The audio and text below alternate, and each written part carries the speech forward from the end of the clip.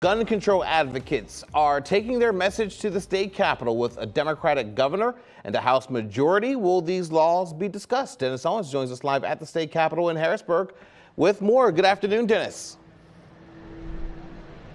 Good afternoon to you, James. Ceasefire PA taking to the steps of the Capitol. That is not new. We are getting ready. The rally's about to start uh, in just a few moments. That's not new, but what is new, as you just mentioned, the dynamics here in Harrisburg.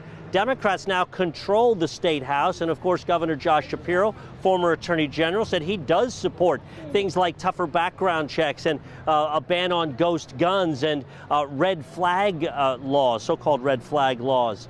Uh, and these are some of the things that those folks have pushed for for years unsuccessfully because they run headlong into Republicans in the legislature who are not supportive. There's lots of new lawmakers here as well as far as that dynamic. And one of them is going to speak today. His name is Arvind Venkat.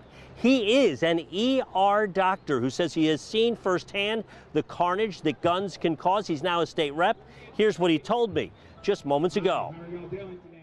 This is a public health crisis, and that we have the ability to reduce the harm from gun violence without affecting law abiding citizens. When we're talking about laws like red flag laws and safe storage laws and lost and stolen reporting and background checks, those do nothing to law abiding citizens who want to own a firearm. Actual meaningful difference in reducing gun violence.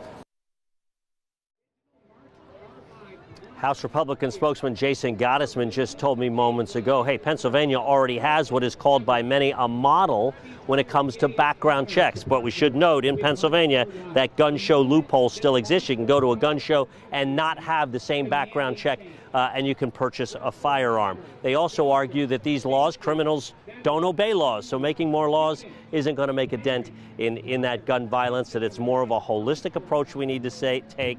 There is no single bullet uh, when it comes to this. James, we also need to note that in Pennsylvania, gun rights are more protected uh, than the, in the Pennsylvania Constitution than they are even in the U.S. Constitution. So that's where we are. There is a new dynamic here. We'll see if there's any, uh, and there's new energy, but we'll see if that uh, leads to any new laws when it comes to uh, gun control. That's the story from the state capitol. Let's send it back to you.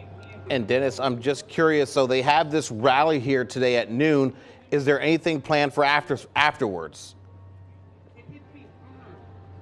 Well, they've been actually, there was stuff beforehand and afterwards where they go in and they try to talk to the staffs of the various lawmakers. They call it lobbying day. So they're going to fan out throughout the state capitol and try to get their message to as many different lawmakers as they can. And based on the numbers of the people I see up there, there's a lot of them, uh, they're going to probably hit each and every office inside the capitol. Dennis Owens live there at the Capitol in Harrisburg. Thank you very much.